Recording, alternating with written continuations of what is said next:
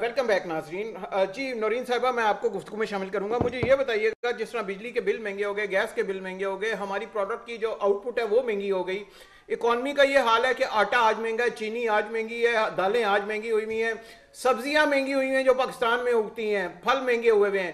ایک غریب آدمی جائے تو جائے کہاں؟ جی نورین صاحبہ دیکھیں جی پاکستان میں ٹوئنٹی فور لارجر اکانومی دنیا میں اس وقت ہے اور فورٹی ٹو انٹرم جو ہے جی ڈی پی ہے. اور پھر اب یہ دیکھ لیں جو جی ڈی پی جو گروتھ ہے وہ ہے three point twenty nine percent گر گئی ہے۔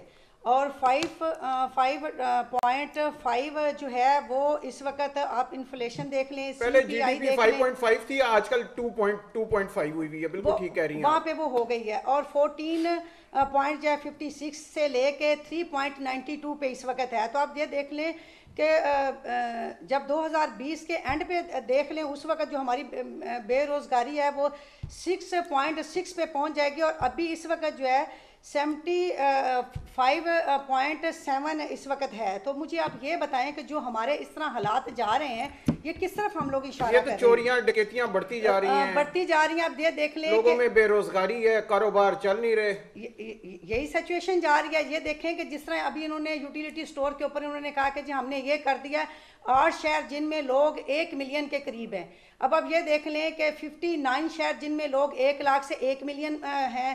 ہر شہر یوٹیلٹی سٹور ہیں اور چوبیس کروڑ آبادی ہے چھ ہزار تو اس کو فری نہیں کر دیکھیں نا میں وہی کہہ رہی ہوں نا کہ اگر جس میں چھ ہزار آپ صرف یوٹیلیٹی سٹور کر رہے ہیں اور اس میں ٹوینٹی بائیس کروڑ ہماری بائیس چوبیس کروڑ کی آبادی ہماری ہے۔ تو اس میں آپ دیکھیں کہ وہ کس طریقے سے ہم لوگ اس اور اس میں بھی ساری چیزوں پہ ڈسکاؤنٹ نہیں دیا۔ اس میں بھی صرف دالوں پہ اور چینی پہ اور آٹے پہ تھوڑا سا ڈسکاؤنٹ اور اب یہ دیکھ لینا تو اس کا مطلب یہی ہے کہ آئی ایم ایف کے آگے پاکستان کو تو عمران خان پہلے ہی بیچ چکا ہے اور ابھی پھر ان کی جو زیادہ جو اور ان کی لیکن خان صاحب کہتے ہیں آپ لوگوں نے قرض اتنے لے لیے تھے وہ بیچارے کرتے تو کرتے کیا؟ ان کے جو اس گورنمنٹ نے جتنا قرض لیا پاکستان کی تاریخ میں میرے خیال میں کسی نے بھی نہیں لیا ہے۔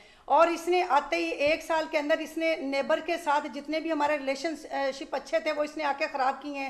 اس کے علاوہ دیکھ لیں ہمیں کہیں ووٹ لینا پڑ جاتا ہے تو جتنی بھی کنٹریز ہیں وہ ووٹ چلو، کچھ اور کو چھوڑ دیں، سعودیہ کو ہی لے لیں، وہ بھی ہمارے خلاف ووٹ دیتے ہیں۔ انہوں نے آتے ہی چائنا کے ساتھ بھی کر لیں۔ ابھی یہ دیکھیں کہ کوئی بھی ہمارے پاکستان کا بھی شہزادہ بھی آیا ہوا تھا، اس کے ساتھ انہوں نے کس طریقے سے کیا؟ تو اب یہ چیزیں دیکھیں، کیونکہ عمران خان کبھی بھی پاکستان کے ساتھ نہ کبھی وہ سنسیئر تھا، نہ کبھی وہ ہو سکتا ہے۔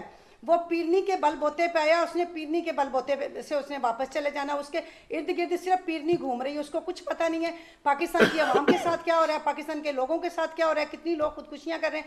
اب یہ دیکھیں کہ جس مزدور نے اگر پانچ سو یا چھ سو روپیہ مزدوری لے کے آنی، اس میں اس نے گھی بھی لینا ہے، آٹا بھی لینا ہے، چینی سارا کچھ اس نے گروسری بھی لینی ہے، بچوں کی فیس بھی دینی ہے، بجلی کے بل بھی دینے ہیں گیس کے بل بھی دینے ہیں اس نے اپنی باقی ضروریات کی چیزیں بھی کرنی ہیں۔ وہ کیسے مینج کر سکتا ہے؟ یہ اگر دو لاکھ روپے میں یہ خود مینج نہیں کر ہمارا جو گیٹ کیپر ہے اس ٹائم رویل کا اس کے بجلی کا بل چھبیس ہزار آیا ہوا ہے۔ جب میں آج انٹر ہو رہا تھا مجھے کہہ رہا تھا سر میری تنخواہ پندرہ ہزار روپے ہے تین ہزار روپیہ مجھے الاؤنس ملتا ہے اٹھارہ ہزار ملتا ہے میں کس طرح چھبیس ہزار کا بل پے کروں گا؟ میرا آپ اس سے اندازہ کر لیجیے اور یہ کوئی تین ماہ کا بل نہیں ہے یہ ایک ماہ کا اس بچارے کو ایک ماہ کا بل اب یہ دیکھیں کہ جب وابڈا کے دفتر گیا کہ بل ٹھیک کر دیں وہ ٹھیک نہیں ہو رہا بل اب یہ دیکھیں کہ میرا بچہ الیون ایئر اولڈ ہے۔ وہ مجھے کوشچن کر رہا ہے کہ ماما عمران خان جو ہے وہ دو لاکھ سیلری میں اپنا گزارا نہیں کر سکتا، جس کو جس کا گھر بھی فری میں ہے، بجلی جس کو فری ہے گروسری جس کی ساری چیزیں گورنمنٹ پے کر رہی ہے، پھر بھی وہ دو لاکھ میں ابھی اس کی سیلری بڑھا دی گئی ہے۔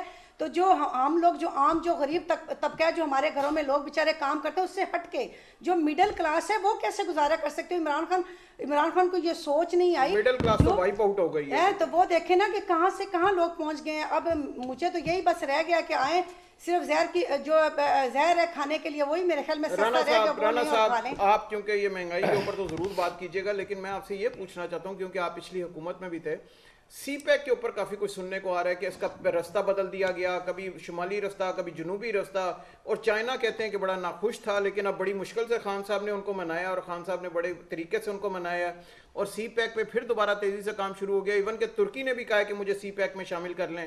تو آپ اس کو کس نظر سے دیکھتے ہیں سی پیک کے شیخ صاحب گزاری یہ ہے کہ سی پیک وہ الحمدللہ ایسے مثبت، پوزیٹیو پاکستان کی خوشحالی کے ضامن منصوبے ہیں کہ جو دو ہزار چودہ اکتوبر میں چینی پریزیڈنٹ نے آنا تھا تو یہاں پر عمران خان صاحب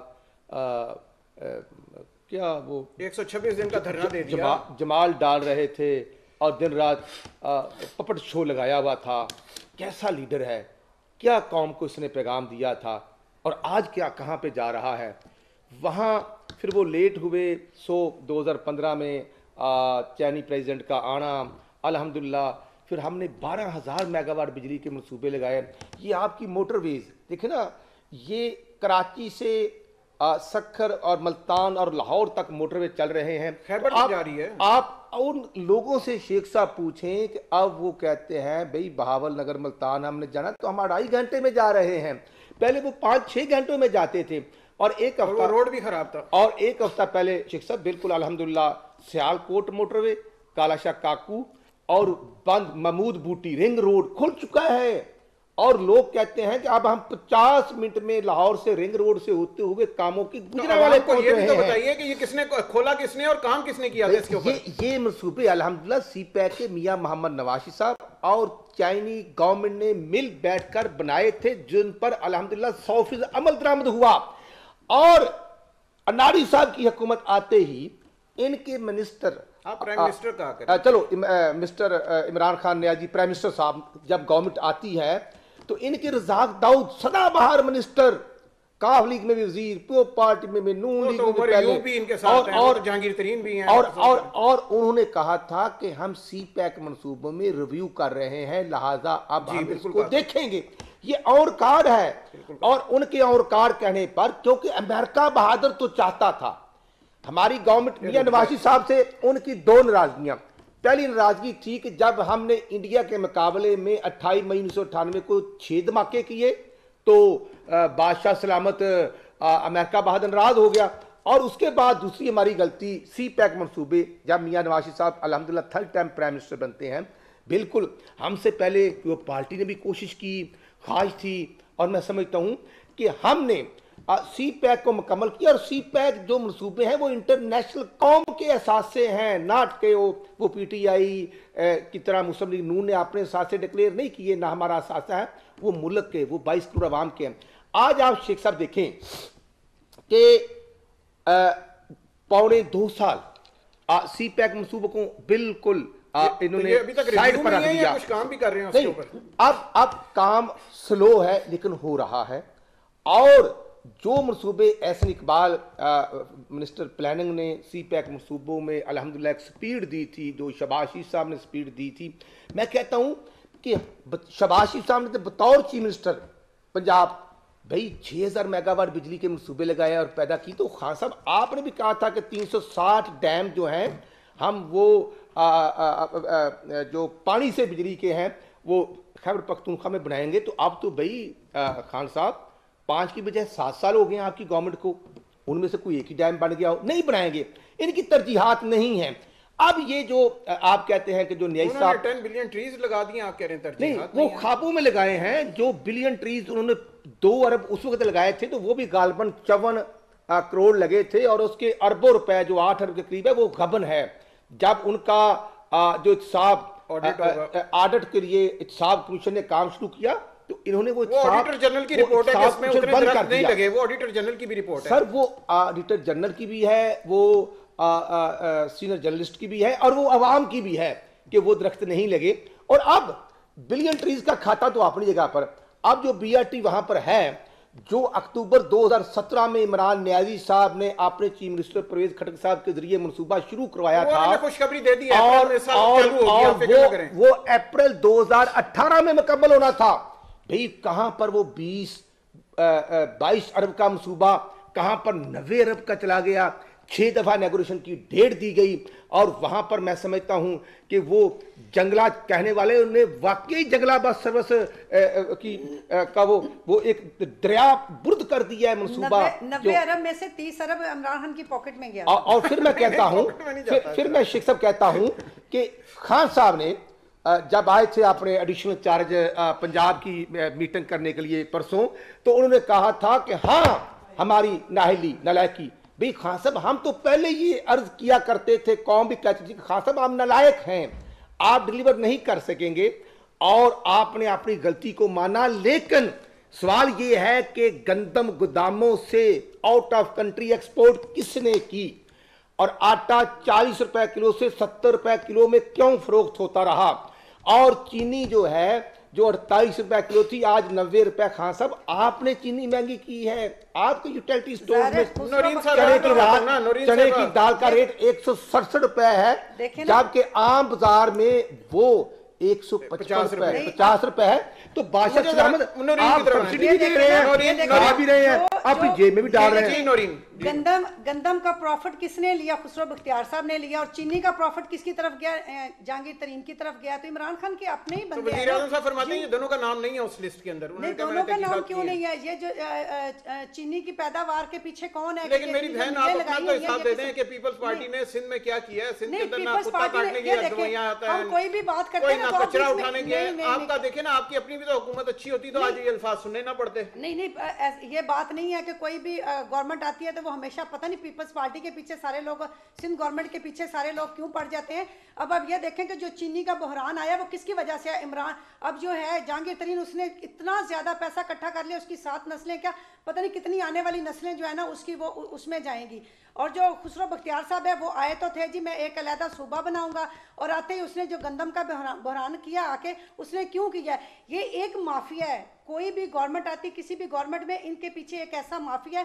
یہ مافیا ہی ان چیزوں کو سٹاک کر لیتا ہے۔ آپ ذخیرہ اندوز کو مافیا کہنا چاہ رہی ہیں۔ ہاں بالکل ایسا ہی ہے۔ یہ جو ذخیرہ اندوزی کی جاتی ہے اس کے اس کے بیک پہ بہت بڑا یہ مافیا ہے۔ یہ کر لیتی ہیں اور جن کو فائدہ ہوتا ہے ان کو عمران خان فائدہ پہنچا رہے ہیں۔ ان اس اب عمران خان کہہ رہا ہے جی مجھے پتہ نہیں ہے، ایک جی ٹیم بنائی جائے، اس پہ انویسٹیگیٹ کی ابھی کس چیز کی انویسٹیگیشن آپ کر رہے ہیں؟ آپ کو سب پتہ ہے، آپ اس میں حصے دار ہیں۔ اگر چینی کا بحران پیدا ہوا ہے تو آپ اس میں بھی حصے دار ہیں۔ اگر گندم کا بحران پیدا ہوا ہے، آٹا نہیں ملا اتنے دنوں میں، اس میں بھی آپ حصے دار ہیں۔ تو ظاہر ہے کہ جب آپ کا حصہ باہر کے مختلف، آپ نے اتنی جو کمپنیاں بنا لی ہیں جو مختلف آپ کے کافی کلوز فرینڈ ہیں، میں ان کو جانتی ہوں۔ کبھی کسی ٹاک شو میں میں ان ان کو بھی میں سب لوگوں کو بتاؤں گی کہ وہ کون ہے، ان کے اکاؤنٹ میں پیسہ جا رہا ہے اور پیسہ وہ آپ کا ہے۔ اور آپ نے خربن کیا پتنی اپنے شربوں میں پیسہ اکٹھا کر لیا ہے۔ اور ابھی تو آپ کو یہ ایک کی سال نہیں ہوا۔ ایلیگیشن ہے اس سے کوئی متفق ہوتا ہے یا نہیں ہوتا وہ ایک علیحدہ نہیں چیز نہیں نہیں جو میں بات کری میں سچی بات کرتی ہوں یہ سب کو پتہ ہے۔ دیکھیے نا اس کے لیے پروف چاہیے ہوتے ہیں آپ نہیں نہیں دیں، نہیں نہیں چینل پہ لائیں پھر اس کے بعد آپ کہیں تو میں بالکل مانوں یہ گا۔ دیکھیں نا کہ چینی کا یکدم بحران پیدا کر دینا گندم کا بحران پیدا کر دینا باقی چیزوں وہ کا تو اپنے مان گئے نا کہ ہماری غلطی ہے وہ کہہ رہے ہیں بڑے بڑے یہ بات ایسے ہی نا جب ساری پاکٹ میں ایک چیز ان کو پتہ ہے پاکٹ میں ایک چیز آ گئی ہے اب اس کو کس نے نکالنا ہے؟ پرائم منسٹر تو میں ہوں۔ میں تو بلکہ اس کو پرائم منسٹر نہیں کہتی یہ کرکٹر ہے بیسٹ کرکٹ ہے اس کو۔ لیکن اب یہ کرکٹر بھی بیسٹ نہیں رہا کیونکہ کرکٹر جو بیسٹ ہوتا ہے وہ اپنی ٹیم بڑی اچھی بناتا ہے۔ اس نے تو ٹیم ہی اپنی ایسی بنائی ہے۔ تو جو اب تو یہ بیسٹ کرکٹر بھی نہیں رہا پرائم منسٹر تو بڑی صاحب یہ دو دفعہ یہ صدر ٹرمپ سے مل کے آئے ہیں بڑا امپورٹنٹ کوشچن ہے۔ پاکستان صدر کو بیچ کے ایک آئے ہیں۔ ایک میرا بڑا امپورٹنٹ سوال ہے رانا صاحب سے۔ صدر ٹرمپ نے ابھی انڈیا کے لیے کیا ایسا اقدام کیا ہے کہ پاکستان کو تو پوچھا ہی نہیں؟ عاشق صاحب میں یہ عرض کروں گا میں یہ۔ عرض کروں گا کہ بادشاہ سوری نیازی صاحب جو ہیں وہ دو ہزار اٹھارہ ستمبر میں یو این او میں نہیں گئے نہیں گئے یہ ایک سوالیہ نشان ہے کیونکہ ہارڈ ایشو تھا مقبوضہ کشمیر۔ انہوں نے کہا میں تیاری کر کے جاؤں گا اور اگلے سال انہوں نے تباہی مچا دی انہوں نے بالکل اڑا کے جی رکھ جی دیا جی جی۔ بالکل تیاری کی۔ اور اس تیاری کے نتیجے میں ہی دو سو دن ہو گئے ہیں مقبوضہ کشمیر میں کرفیو لگا ہوا۔ جو شیخ صاحب آپ نے بات کی اب ٹرمپ صاحب سے جو ون آن ون مذاکرات یہ کرتے رہے ہیں نیائی صاحب، جو ایسا ان کو کنٹینر کا مزہ پڑا ہوا ہے کہ وہ کنٹینر سے اترتے نہیں ہیں۔ وہ دو تین دفعہ انہوں نے کہا بھی کہ میرے گھر والوں نے بتایا کہ آپ پرائم منسٹر ہیں، جب ڈالر اوپر نیچے ہو رہا تھا۔ تو ڈالر ایک سو دس سے ایک سو چھپن ہو گیا، نیائی صاحب کو نہیں پتا۔ پھر چنے کی دال پینسٹھ روپے سے ایک سو سڑسٹھ روپے ہوگی اور نیائی صاحب کو نہیں پتا۔ اب اب چینی مہنگی ہو رہی ہے۔ نیائی صاحب، میں آپ کی خدمت میں عرض کر دیتا ہوں کہ چینی کے لیے گنا اتنا وافر ہے، کسی روڈ پہ بھی چلے جائیں گے تو ٹرالیاں، ٹریکٹر اور ٹرکوں سے وہاں پر ٹریفک بلاک ہوتی ہے۔ جب گنا آ رہا ہے تو پھر بادشاہ سلامت چینی مہنگی کر کے غریب عوام کو کیوں تم مار رہے ہو؟ تمہیں پتہ ہے کہ ہر گھر میں چینی کا استعمال ہے۔ اور اس چینی کو مہنگا کر کے وہ کس اے ٹی ایم کی جیب میں جالا سب کچھ جا رہا ہے، وہ آپ شاید نہیں جانتے۔ اگر آپ دیکھیں گے این قطار کر تو ان کا نام ہے جہانگیر ترین انہوں نے کہا وہ لسٹ میں ان کا نام نہیں ہے خسرو بختیار کا نام نہیں بڑا کلیئر کروائی اور۔ بادشاہ سلامت نے آرڈیننس جاری کر دیا ہے کہ آٹا مافیا چینی مافیا اور کسی بھی کیس میں ہنسوں کی جوڑی جو جنوبی صوبہ لینے آئی تھی وہ دونوں نہیں شامل ہیں تو میرے بھائی اگر وہ نہیں شامل تو پھر جو شامل ہے اس کا پتہ کروانا خدانہ خواستہ وہ تحقیقات کر رہے ہیں۔ وہ تحقیقات کون کریں گے؟ انتہائی ادب سے کروں گا آپ کی گورنمنٹ کرے گی نہ فرشتے کریں گے نہ قبرستان میں سوئے ہوئے لوگ کریں گے کل نفسن ذائقہ الموت۔ اس لیے میں عرض کروں گا کہ آپ نیازی صاحب ملک کی وزیر اعظم کی سیٹ پر بیٹھے ہوئے ہیں۔ آپ جواب دے ہیں۔ بہتر سال میں کبھی بھی کسی نے خدانہ خواستہ کوئی ایسی غلطی والی بات نہیں کی تھی کہ ریاست مدینہ کا جب ہم نام لیتے ہیں تو ہماری تو زبان بھی جھک جاتی ہے نے انڈیا کو جو ٹیرف میں دی ہے۔ اور وہ دیکھیں ٹرمپ کے گیت گانے والے نیائی صاحب وہ چھپن کروڑ سوری وہ چھبیس کروڑ چھبیس کروڑ ڈالر کا ٹیرف جو ہے وہ انڈیا کو. ٹرمپ سلامت نے دے دیا ہے۔ اور یہ- کوئی پیکج پاکستان کو دیا اور یہ پیکج ان کے کہنے پر افغانستان کو گندم تو آپ گفٹ کر رہے ہیں۔ اور ان کے کہنے پر ہر بات پر آپ جھک بھی جاتے ہیں اور نریندر مودی کے الیکشن کی کامیابی کے لیے بھی آپ دعائیں کرتے ہیں۔ تو اب مودی، ٹرمپ اور اسرائیل جو کٹ چوڑ ہے، اب ٹرمپ کا الیکشن ہے، تو وہ بھی آپ کہیں گے کہ ٹرمپ بھی سیکنڈ ٹائم اس کا جتنا ضروری ہے۔ تو اس لیے نیائی صاحب، اب آپ ہی قوم کو بتانا ہوگا۔ آپ ہی وہ ڈائیلاگ بتا سکتے ہیں کہ وہاں مقبوضہ کشمیر کی آزادی پر کیا بات ہوئی؟ وہاں پر افغانستان کی ایشوز پر کیا بات ہوئی؟ اور جو انڈین ایل او سی پر وائلیشن کر رہا ہے جو ہمارا پانی چوری کر رہا ہے جو ہماری باڑ اکھاڑ کر حملے کرتا ہے ان ایشوز کو بھی آپ نے ٹیک اپ کیا ہے کہ نہیں کیا۔ اگر نہیں کیا ڈیم بنائے تو- جا رہے ہیں، پانی اگر نہیں کیا تو۔ پھر کم از کم وہ جو بادشاہ ڈیم کے لیے آپ نے اور آپ کے ساتھ ایک ریٹائرڈ جج نے جو بارہ یا چودہ ارب روپے اکٹھے کیے تھے وہی قوم کو بتا دیں کہ وہ کہاں سے آپ نے ڈیم شروع کیا ہے کتنے لاگ گئے ہیں اور کیا ہوا۔ ہاں آپ نے بادشاہ ڈیم کا جو کنٹریکٹ ہے وہ اپنی کیبنٹ کے پاس رکھ دیا۔ کہ آپ کے موجودہ جو وزراء ہیں وہی ٹھیکے دار ہیں۔ شاید آپ کی نظر کرم سے ان کی وہ کمپنی الجھا- اچھی ہے، اس الجھے کے اوپر ہوئے ہیں آپ اعتراض اٹھا اور آپ ضرور؟ دیکھیں کہ وہ رزاق داؤ صاحب ٹھیکے دار ہیں نیائی صاحب آپ کہاں کرتے تھے؟ آپ فرمایا کرتے تھے کہ جب ڈالر. ایک روپے مہنگا ہوتا ہے تو پرائم منسٹر چور ہوتا ہے۔ جب ٹیکس بڑھتے ہیں تو پرائم منسٹر چور ہوتا ہے۔ جب آئی ایم ایف ہمارے اوپر بیٹھ کر ٹرم اینڈ کنڈیشن لگاتی ہے ٹیکسز بڑھتے ہیں تو وہ عوام دشمنی ہے۔ تو نہیں صاحب آج تو آپ آئی ایم کے آئی ایم ایف کے ساتھ مذاکرات نہیں کر رہے۔ آپ نے تو فنانس ڈپارٹمنٹ ہی ان کو ہینڈ اوور کر دیا ہے۔ اور آپ کہتے ہیں کہاں۔ پر گئے؟ بھئی وہ شبر زیدی ہم کہتے تھے کہ وہ ٹیکس چور ہے۔ آپ کہتے تھے کہ میں نے ایک بڑے چور کو لے لیا ہے چوروں کو کنٹرول کرنے لیے۔ تو نیازی صاحب اب جو ٹیکس اکٹھا ہونا تھا سات ماہ میں اس میں جو سوا تین ساڑھے تین سو ارب کا شارٹ فال ہے۔ 600 ارب کا۔ چھ سو ارب کا۔ تو نیازی صاحب وہ چھ سو ارب جو ہے وہ آپ کی جیب میں گئے شبر زیدی کی جیب میں گئے؟ یا عوام سے کروانے گئے ہیں۔ عوام سے اگر آپ نہیں لے سکے تو یہ آپ کی نا نیگلیجنسی پیسہ ہے۔ آپ کی نااہلی ہو۔ ہے۔ آپ نے ہی کلیکٹ کرنے تھے۔ اپوزیشن کو تو آپ روزانہ کہتے ہیں کہ اندر ہے تو پھر دوبارہ اندر کر دو اندر ہے پھر دوبارہ اندر کر دو۔ کوئی مریم نواز صاحبہ کا آج کیس لگا ہوا ہے بیرون ملک کے لیے۔ اس کے اوپر ذرا کمنٹ کر دیجیے گا مریم میں نواز سمجھتا صاحبہ نے ہوں درخواست کہ- جمع کروائی ہے عدالت میں اس کے اوپر آج کیس چل رہا ہے۔ میں سمجھتا ہوں کہ مریم بی بی کے والد صاحب میاں نواشی صاحب جو اسی گورنمنٹ نے اپنی سفارشات دیں اور عدالت عالیہ نے ان کو علاج کے لیے باہر بھیجا اور ان کا جو ٹیک اپ اپریٹ و ان کا ہونا تھا میاں نواشی صاحب کی خواہش تھی کہ ان کی بیٹی بھی ان کے پاس ہو لیکن اس موجودہ حکومت نے العلانیہ کہا ہے کہ ہم ان کو نہیں جانے دیں گے۔ آج عدالت عالیہ میں ان کی بالکل ہیرنگ تھی جو پچیس فروری تک جا چکی ہے۔ لیکن میں سمجھتا ہوں کہ عمران خان صاحب آپ اور آپ کے یہ جو اے، تبلہ بجانے والی ٹیم ہے جب بیگم کلثوم بیمار نا، تھے بیمار یہ تھے۔ تو آپ اسی طرح مذاق اڑایا کرتے تھے۔ سب کی ماں ایک جیسی ہوتی ہے۔ ماں دوبارہ نہیں آتی سیاست آتی جاتی رہتی ہے۔ لیکن مریم بی بی کی والدہ موت و حیات کی کشمکش میں تھی۔ وہ گرفتاری دینے تیرہ دلائی کو آئی تھی دو ہزار اٹھارہ کو اور گرفتاری دی۔ ان کی ماں فوت ہو گئی۔ اس لیے آج باپ کے علاج کے لیے میں سمجھتا ہوں کہ گورنمنٹ جو ہوتی ہے ہم سیاسی لوگ ہوتے ہیں۔ ہم ایک دوسرے کے دشمن نہیں ہوتے۔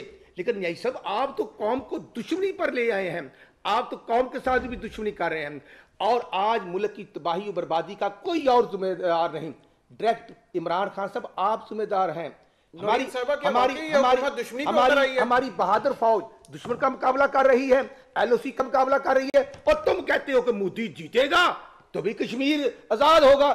وہ کہتے ہیں میں تین سو ستر آرٹیکل اور پینتیس اے کا خاتمہ کروں گا۔ بھئی اس نے خاتمہ کر دیا۔ اب آپ چاہتے تھے وہ آجے وہ آ گیا۔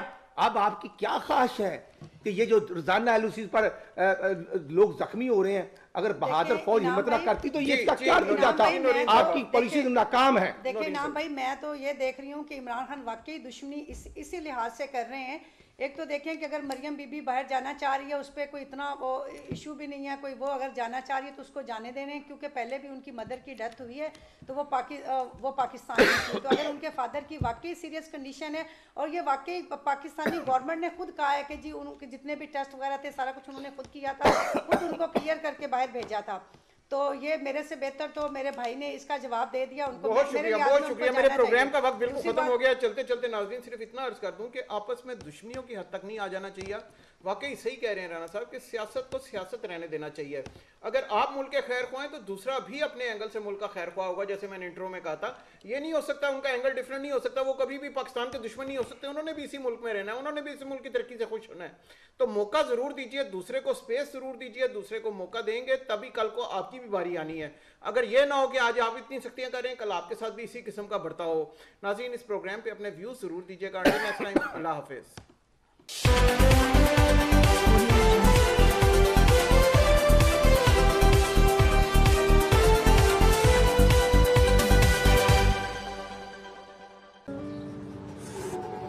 خرچہ تھوڑا زیادہ ہو گیا ہے، لیکن تمہارے ایک کام کے لیے دو چیزیں لایا ہوں۔ صفائی کے لیے صابن اور مہک کے لیے پاؤڈر۔ ہے نا ٹو ان ون اتنا مہنگا ٹو ان ون اصل ٹو ان ون ہے سن لائٹ صرف ننانوے روپے میں۔ یہ دے شاندار صفائی اور بہترین مہک بھی Sunlight two in one صرف ننانوے روپے میں۔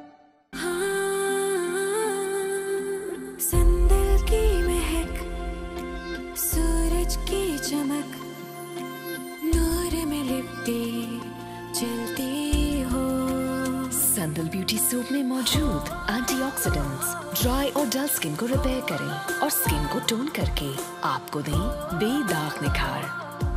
جو دیکھے دیوانہ ہو جائے، جب حسن سے یوں نکھرتی ہو۔ سندل بیوٹی سوپ، جو دیکھے دیوانہ ہو جائے۔ زندگی کتنی رنگین ہے، لیکن اس کی رنگینی